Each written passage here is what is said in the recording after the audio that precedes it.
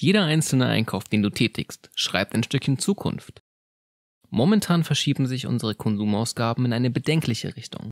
Denn immer häufiger fließt ein erheblicher Teil deines Konsums in Gewinne und Boni. Andere essentielle Unternehmensbereiche kommen dagegen meist zu kurz. Aber wie wäre es, wenn dein Konsum den entscheidenden Unterschied machen kann? Stell dir vor, wenn ein Großteil deines Konsums nicht in den Gewinn, sondern in die Langlebigkeit deines Produktes fließt, die Umwelt nicht nur schützt, sondern auch aktiv aufbaut, ein fairer Anteil für Steuern verwendet wird, von denen wir alle profitieren und dem Wohlergehen der Mitarbeiter zugutekommt. Yeah! Für welchen Weg entscheidest du dich?